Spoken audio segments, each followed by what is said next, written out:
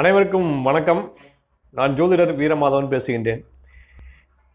இன்றைக்கி வந்து நம்ம இந்த வீடியோவில் வந்து என்ன பார்க்க போகிறோம் அப்படின்னா இஷ்டி காலம் என்றால் என்ன? அதாவது காலண்டரில் இல்லைன்னா பஞ்சாங்கத்தில் வந்து நம்ம பார்த்துருப்போம் இஷ்டி காலம் அப்படின்னு போட்டிருப்பாங்க. இந்த இஷ்டி காலம்னா என்ன? அந்த இஷ்டி காலத்தோட நன்மைகள் என்ன? அப்படிங்கிறத வந்து நான் உங்களுக்கு இந்த வீடியோவில் வந்து நான் உங்களுக்கு தெள்ள தெளிவாக சொல்லதா இருக்கேன். நிறைய பேருக்கு வந்து இந்த விஷயம் தெரிஞ்சும் இருக்கலாம் தெரியாமலும் இருக்கலாம். தெரியாமல் இருக்கவங்க தெரிஞ்சுக்கங்க. நம்ம வந்து காலங்களில் பார்த்துருப்போம். இஷ்டி காலம் அப்படின்னு போட்டிருப்பாங்க. பஞ்சாங்கத்துலேயும் அதே மாதிரி போட்டிருப்பாங்க. சரி இந்த இஷ்டி காலம் அப்படிங்கிறது என்ன அப்படின்னா அமாவாசை அல்லது பௌர்ணமி திதி முடிகின்ற நேரம் அதாவது முடிகின்ற இறுதி பகுதி. அதுக்கு பேர் தான் வந்து இஷ்டி காலம் அப்படின்னு பேர்.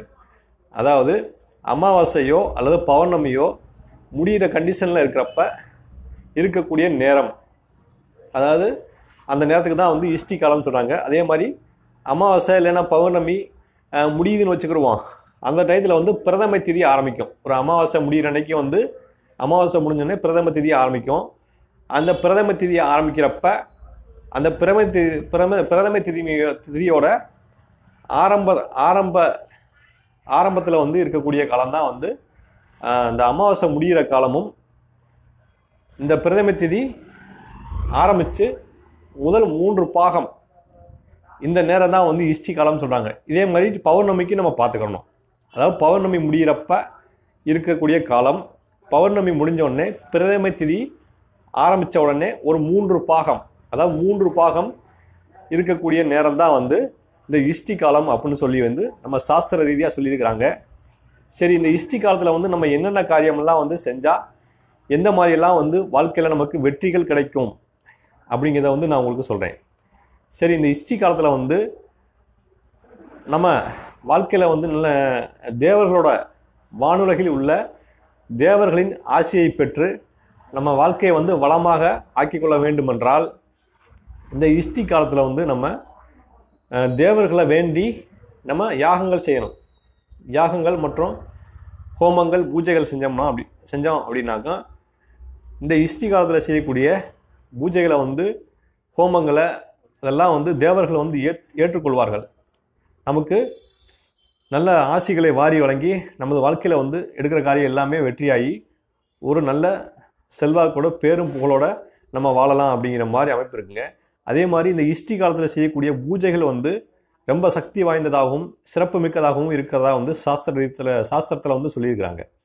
அப்போ இந்த இஷ்டி காலத்தில் வந்து நம்ம ஒரு கோயிலில் போய் பூஜை பண்ணுறோம் இல்லை ஒரு யாகம் பண்ணுறோம் அப்படின்னாக்கா அந்த பூஜை யாகம்லாம் வந்து ரொம்ப சக்தி வாய்ந்ததாக இருந்து இறைவனோட அருள் ஆசிர் இறைவனோட அருள் ஆசீர்வாதம் இதெல்லாம் வந்து நமக்கு கிடைச்சி வாழ்க்கையில் நம்ம எடுக்கிற காரியம் எல்லாமே வெற்றியாகி ஒரு நல்ல நிலைமைக்கு வர முடியும் அப்படிங்கிற மாதிரி இந்த இஷ்டி காலம் இருக்குங்க.